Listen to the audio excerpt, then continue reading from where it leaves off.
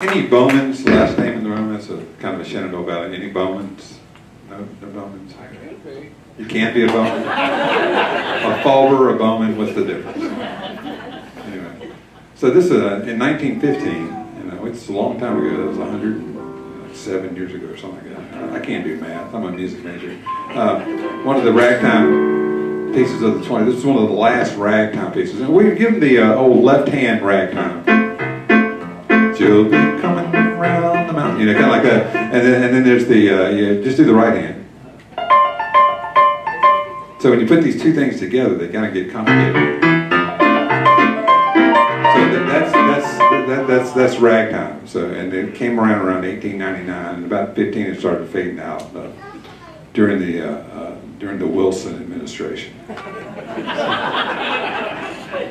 We're not talking about administrations today. Uh, was, this, was so, this, grapefruit diplomacy or grape juice diplomacy? What was that called? What is that? Uh, well, William Jennings Bryan, part of the, uh, the, Wilson administration. No wine in the White House. No wine in the White House. Yeah. Okay. So anyway, you, you can tell that we're just entrenched in history in this. William actually uh, did his went back to school later in life because he didn't want to be a mechanic or what, what was it? You were like an electronics guy. Worked on telephone too. And uh, he went back to school and studied history. And he, he wrote on the, what's it called? The, the what was that little thing called? The English concertina. Yes, the squeezy box right here. He wrote his paper on the English concertina and found that it was from, ready for this? It's from China. and what year was this from China? This is full circle, right?